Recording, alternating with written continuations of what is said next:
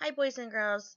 So this week we're going to going to work together to study and practice responding to test questions on narrative passages. These passages are fiction or historical fiction. So remember on a test, um, a passage is just the text that you're asked to read. And when I'm asking you about a narrative passage, that means it has characters, the setting, um, a plot, and some kind of resolution. So Today, to get started, we're going to read a passage together. I'm going to read it out loud, and you're going to follow along, reading it in your head at the same time I read it out loud. We're going to do this together and do it in a way that you're going to read the passage um, by yourself.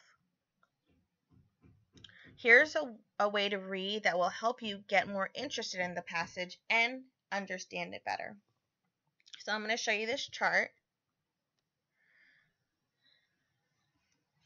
It says when reading a story. So these are the things you need to do when you're reading a story. You need to think of who the characters are, the main character, family and friends who are secondary characters. What do we know about them early in the story? What do we know about them later on in the story? Where does the setting take place? I'm sorry, where does it take place and why does that matter? That's our setting. And last but not least, what is the big problem in the story? Sorry, that's kind of getting cut off. But what is the big problem in the story? So if you think about this, this is actually talking about the character, I'm sorry, the story elements. So, um, it's really important when you start to read a, pa a passage that you read the directions. So the directions are here. These are critical because often they'll tell you some information that you that will help you when you're reading the text. So let me go through and read the directions. So let's start by reading the directions. So I'm going to sit up tall. I'm going to listen up as these things are especially important. And they often tell us the, the genre. So the genre is just the, what kind of book is it? Is it fiction? Is it historical fiction? And so on. Directions. Read the story, then answer questions 19 through 23.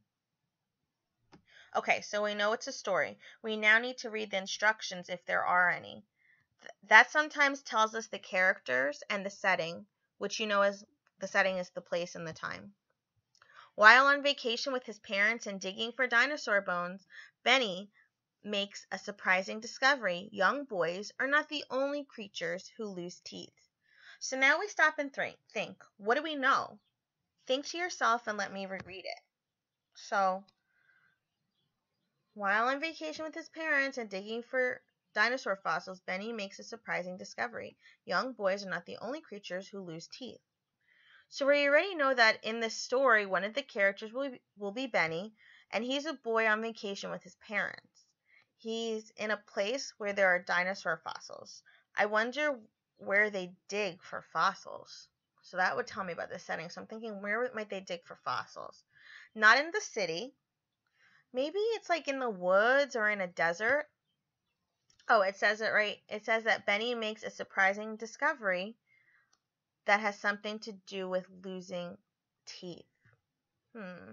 Okay, we've read enough to know what a genre, what genre this is, a story, so we know who the text is mostly about. Now we're ready to read the passage itself. First, let me think about what we will especially notice. What pays what pays off to notice in a story. So since I know it's a story, I know that it's going to follow the story elements. There's going to be some type of problem in the story. So I'm going to be on the lookout for that. So I'll read it out loud and you follow along. As we read, we're going to pay attention to things on that chart that I showed you. So let me bring it back.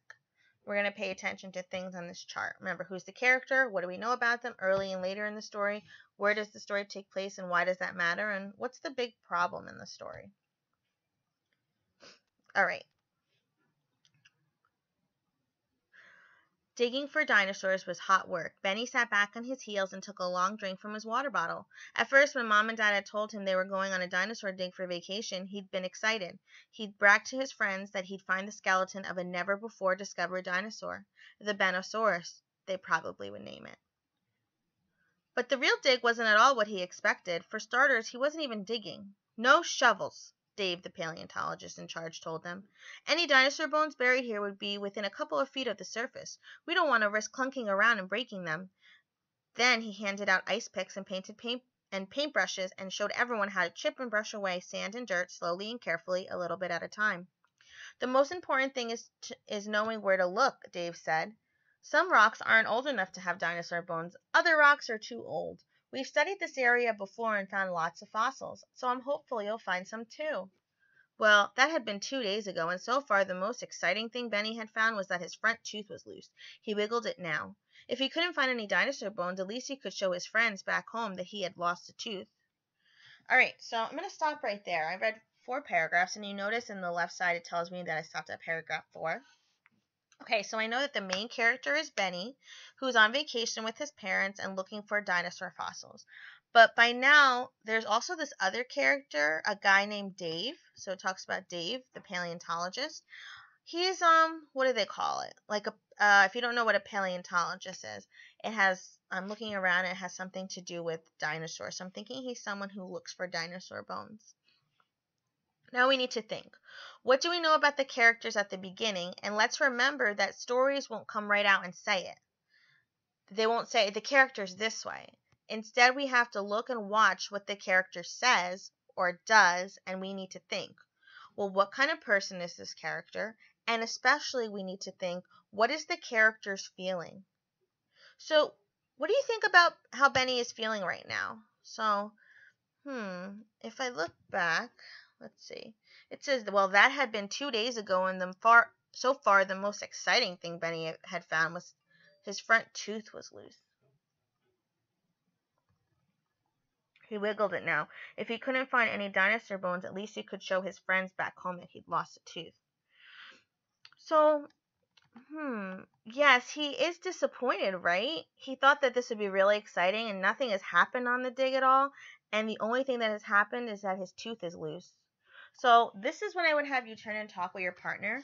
And what about, I would want you to tell me a little bit about Dave. What have you learned about him? So I'm going to give you like a few seconds to think about that to yourself. What have you learned about Dave um, so far, what we've read?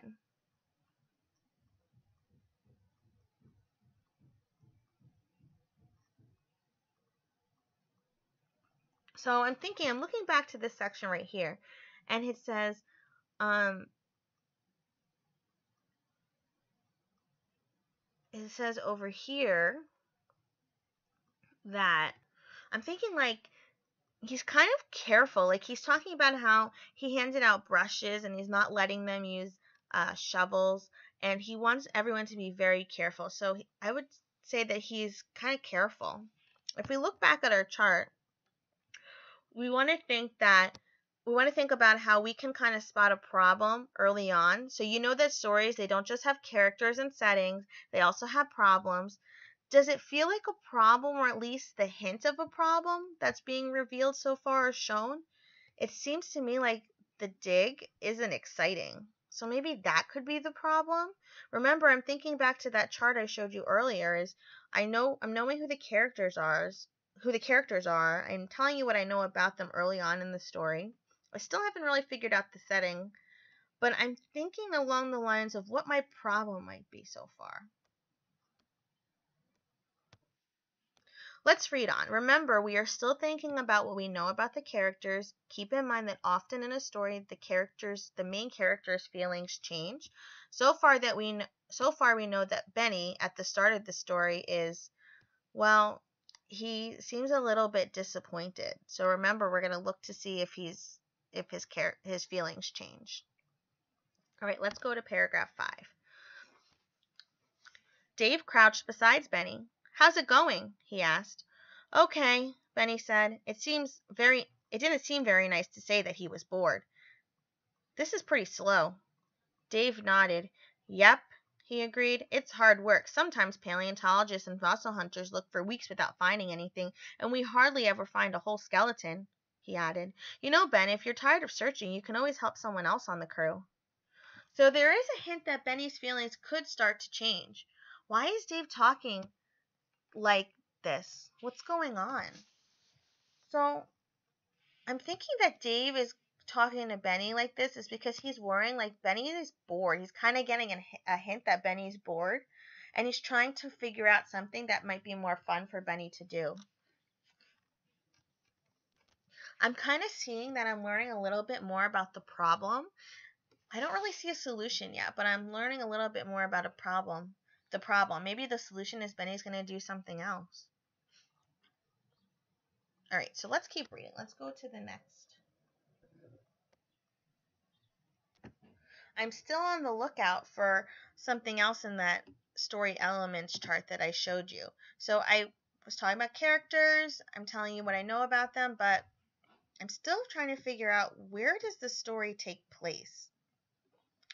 I have a little hint of the problem. So let's keep reading, keeping that in mind.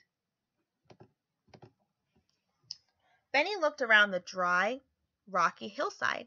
Dave's assistants were busy taking photographs and drawing pictures and making charts. Some were using GPS devices to make maps of the area.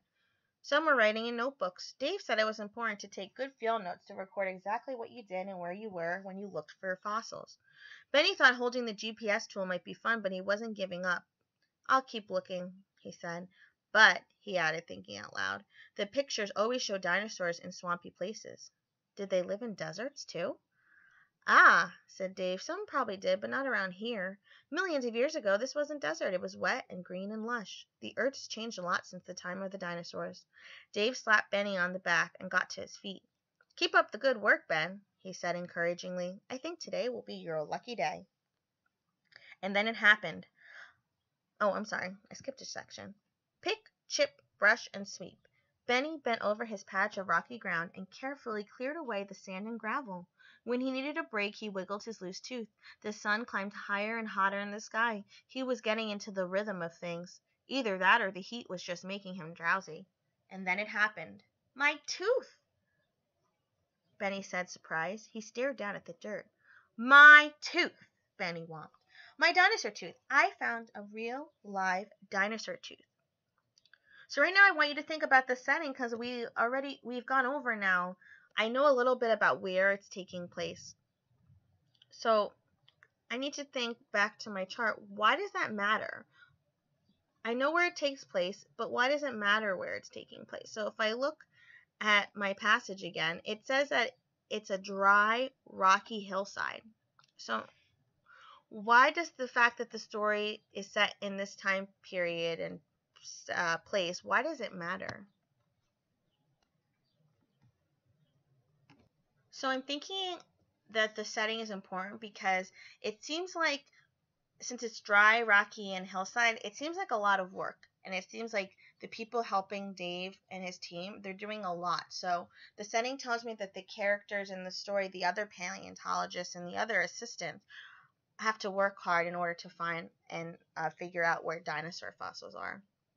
I want you to think about what you've learned about the characters in the setting. So it's really important that you um, you pay attention to character relationships and how characters start to change. So let's finish up the text and then we're going to go back and focus on those questions. So it says, Dave hurried over to look, careful not to disturb the ground in front of Benny's spine. Well, I'll be, he said. It's a tooth, all right. What kind is it? Benny asked excitedly. Is it a T-Rex? A Apatosaurus? Triceratops? Dave laughed, but he kept studying the fossil in the ground. Well, Ben, he finally said, I've seen a lot of dinosaur teeth, but this this one's different. I think you may have found one we haven't seen before. Good job. So, readers, the important thing is now that you've read the passage with your mind turned on, noticing the things that are really always important in the story when reading this kind of genre, you are in a good position to answer the multiple choice questions that the test makers are going to ask you. I know this is just day one of our reading prep, test prep unit, and we're going to get a, a, we are going to get way better at this as we work together over the next few weeks. But already, I bet you can do something pretty wise with the questions. Let's try one. Remember, when you do this, you are asking for the best answer. There will often be a few answers that are right for the story, but you need to notice that the test makers are asking and reading all the answers to try and figure out the best answer. So we've talked about this in class before, how usually there's a good answer and there's a better answer. So let's look at one of the questions. Let me pull it up. All right. All right, so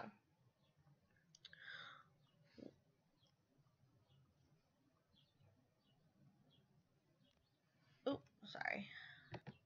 All right, so here's our question. It says paragraph 9 through 11 show that Benny, A, knows about changes that took place over time, B, prefers working in cooler weather, C, enjoys thinking out loud, or D, continues to work hard. There are a lot of times that the test makers are going to ask you questions that pertain to a certain section. It might be paragraphs or it might be lines in the story. So it says paragraphs 9 through 11. So it's really important that we look back at the text to find those paragraphs. So here's paragraphs 9 through 11. And I'm trying to figure out what do these paragraphs show about Benny? Let's see. So let me reread them. Benny thought holding the GPS tool might be fun, but he wasn't giving up. I'll keep looking, he said. But, he added, thinking out loud, the pictures always show how dinosaurs show dinosaurs in swampy places. Did they live in deserts too?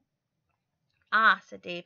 You prob some probably did, but not around here. Millions of years ago, this wasn't desert. It was wet and green and lush. The earth's changed a lot since the time of the dinosaurs. Dave slapped Benny on the the back and got to his feet. Keep up the good work, Ben, he said encouragingly. I think today will be your lucky day. Uh, pick, chip, brush, and sweep. Benny bent over his patch of rocky ground and carefully cleared away the sand and gravel. When he needed a break, he wiggled his loose tooth. The sun, the sun climbed higher and hotter in the sky. He was getting into the rhythm of things. Either that or the heat was just making him drowsy. So now that I've read that back, let me go back to my question. So A knows about the changes that took place over time. B prefers working in cooler weather. C enjoys thinking out loud. Or D continues to work hard. So when you come to multiple choice questions, there's usually two answers that it can't be. And one of the strategies that you can use to find the correct answer or the best answer and the good answer is crossing out answers that don't make sense. So when I looked about that, it didn't talk anything about cooler weather.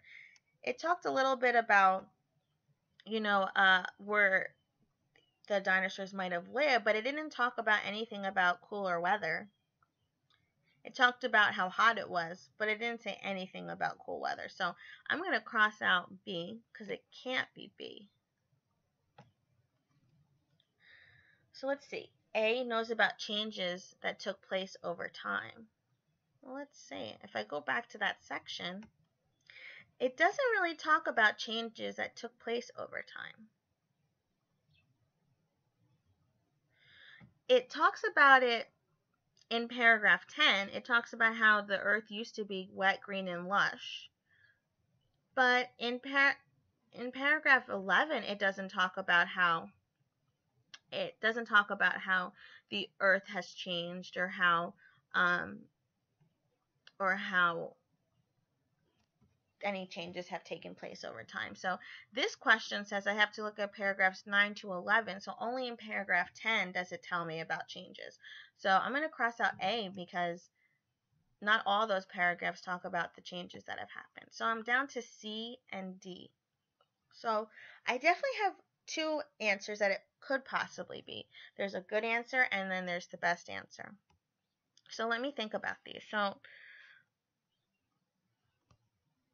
Paragraphs 9 through 11, through 11 do show that Benny does some thinking out loud, and they do show that he keeps working hard. But now I need to think what's the best answer about all of those paragraphs. So you have to think about all the paragraphs together, and not just two of them. So let's see. 9 through 10 and 11. I'm either looking for how he's thinking out loud in all three paragraphs or how he enjoys working hard in all three paragraphs. I'm sorry, how he continues to work hard in all three paragraphs. So let's see. On paragraph 9, he's talking about working and holding the GPS. Okay. He's not talking about, um, he's not really thinking out loud in that section. Oh, yeah, it does. It says, but he added thinking out loud. The picture always show dinosaurs in swampy places. All right, so in paragraph 9, he's thinking out loud and he's also working hard. Let's check paragraph 10. Well, it doesn't say anything about him thinking out loud. Actually, this has a lot to do with just Dave talking. So he's not thinking out loud here. But it does he does tell Benny to Ben to keep up the good work. So it does talk about Ben doing work. Let's go to 11. Pick, chip, brush, and sweep. Ben Benny bent over his patch of rocky ground. Hmm. It doesn't say anything about him thinking aloud in this section, too, but it does talk about him having to pick, chip, brush, and sweep. So now that I see and look back at the paragraphs, I know that Benny, he does enjoy thinking out loud in paragraph 9, but he's not thinking out loud in paragraphs um, 10 and 11. So that just leaves us with choice D because all paragraphs talk about him working hard. So I would go with D.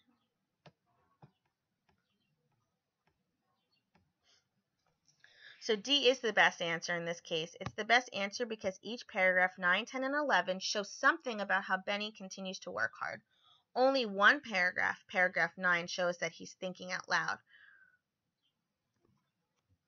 So readers, today we practice a way to approach reading and answering questions to test passages. You're going to try this a lot this week and we're going to see how it goes for you. Notice that we read just the directions and introduction and then we stopped to think about all we learned to get ourselves ready to read on. Noticing especially important stuff. We read a chunk at a time, so like a few paragraphs at a time, and paused to code what we noticed that was especially important.